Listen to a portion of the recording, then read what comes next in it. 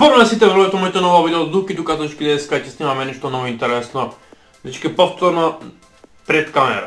Дечки денес ќе представам нешто е, ново. Ќе правиме unboxing на нов кулер. Дечки кулеров во грешка пратен, најде се да не ви да се враќа, ќе го искористиме. Ја решив да порачам друг, а испана да дојде. Ја порачав еден па испана да дојде друг кулер.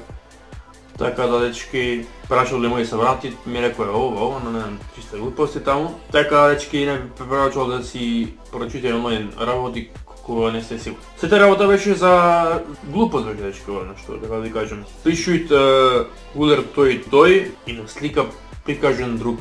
Јас доса од таа марка кулери немам користено, така не знаев и дали изгледа така, ни пак проверив на YouTube како изгледа. Сепак мене цената ми излажа и мислев дека таков кулер за тие пари, пак не беше малку беше сумнително и не знам дали ќе би тој, но сепак реков може некоја акција.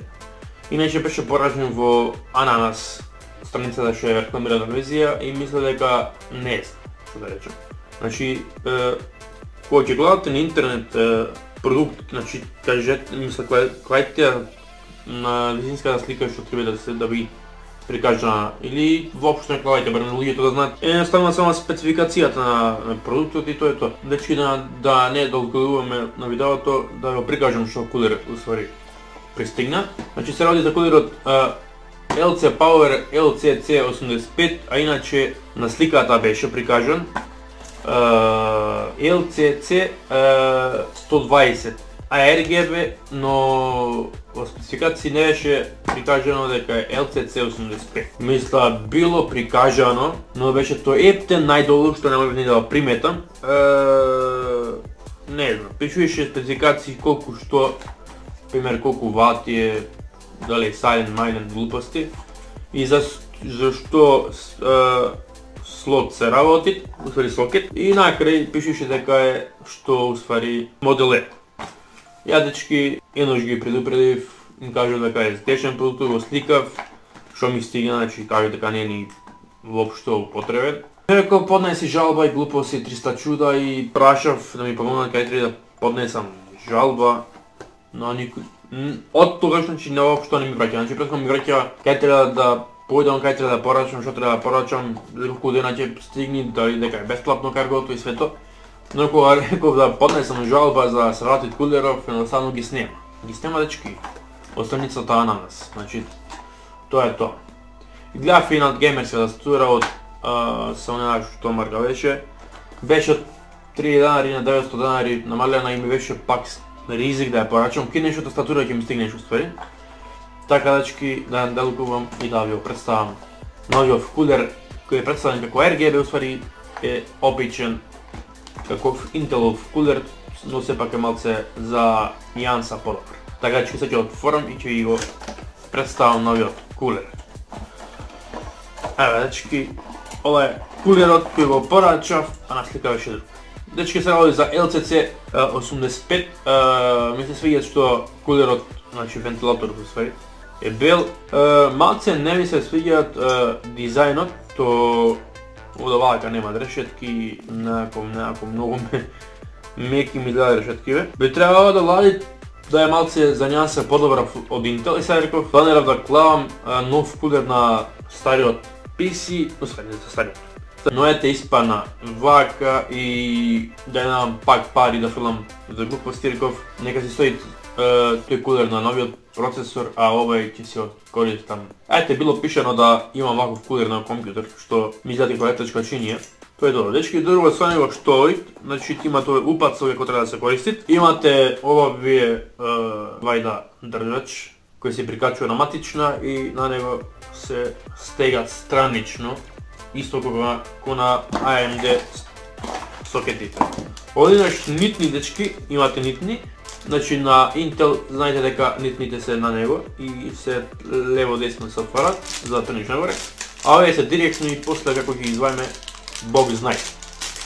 Така дечки, ја сега ќе ви представам како ти како ќе извајме и како ќе оклајме и свето ќе снимиме све дечки. Све што треба ќе снимиме. Само вие не се нервирајте. Дечки, да, сега да распекам компјутерот и да оклам тука и да го извајме и да видиме како ствари работи овај LC Power. Ја да, дечки сум презадоволен од LC Power, имам кутиште геймерско и стварно е онака, како да ви кажа, kvalitetno izrobotajeno, znači plekote perfekcija. E se ova dečki ovakva što je oko meko, pa dečki za kije pare ću sakati dvije. 450 dinari ne može da biti nikakvo. Dečki, produživanje za kratko.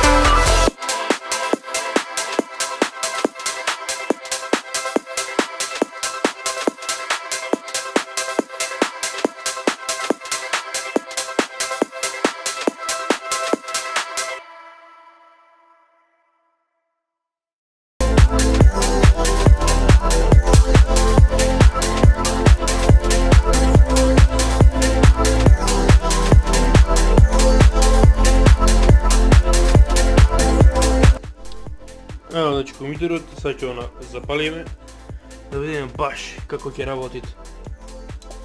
новиот кулер.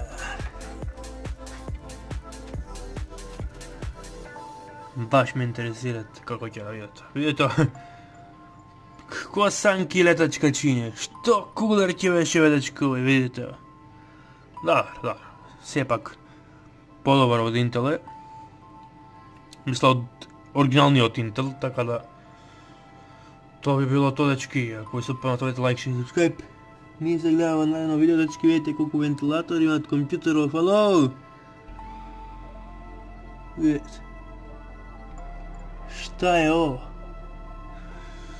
To je to. Dečki, ovo sam nastavio, oddof. Ako vi se dopalo nastavite like, share, subscribe, pa nije se gledamo na jedno video. Ćao i pozdrav.